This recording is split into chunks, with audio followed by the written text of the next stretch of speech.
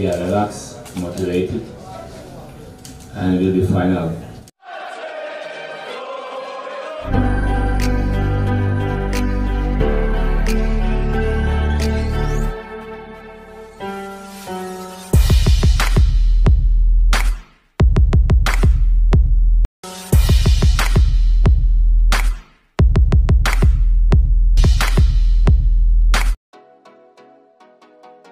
Milomir Seslia menilai Arema FC memakai strategi parkir bas atau main bertahan sejak berhasil mencetak gol ke gawang Borneo FC.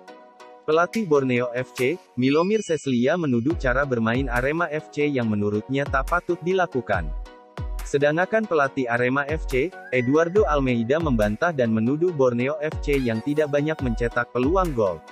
Kritik pedas dilontarkan pelatih Borneo FC. Milomir Seslia yang menuding Arema FC menggunakan strategi parkir bas sepanjang pertandingan, setelah membuat satu gol ke gawang Borneo FC. Sepanjang pertandingan Arema bermain bertahan, ungkap Milomir. Saya tidak bisa membayangkan bagaimana bisa mereka bermain seperti itu di hadapan puluhan ribu pendukungnya. Kami terus-terusan menguasai pertandingan, sementara mereka bertahan. Arema itu pakai strategi parkir bas, tambahnya. Milomir Seslia juga mengatakan Arema FC hanya menunggu pemain Borneo FC melakukan kesalahan. Selain gol pertama, Arema tidak melakukan apa-apa, ya hanya satu gol itu saja, tutur Milo. Sedangkan kami berhasil membuat dua atau tiga peluang berbahaya yang harusnya jadi gol.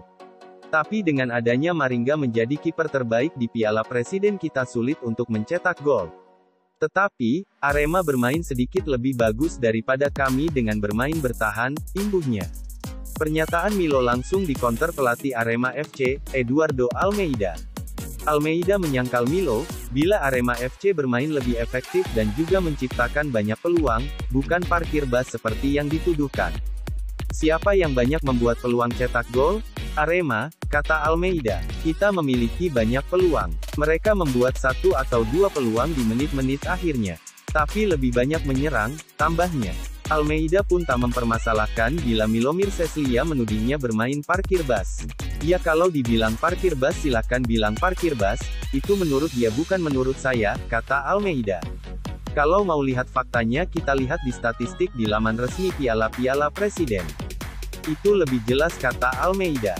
Ini statistik resminya selengkapnya. Di Arema FC, penguasaan bola, 50%. Jumlah tembakan, 15. Tembakan tepat sasaran, 2. Pas passing, 323. Akurasi lulus, 71%.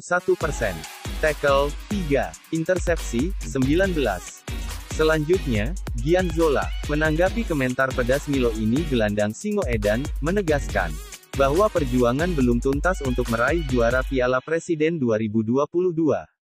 Kita abaikan komentar hujatan yang tidak pantas itu.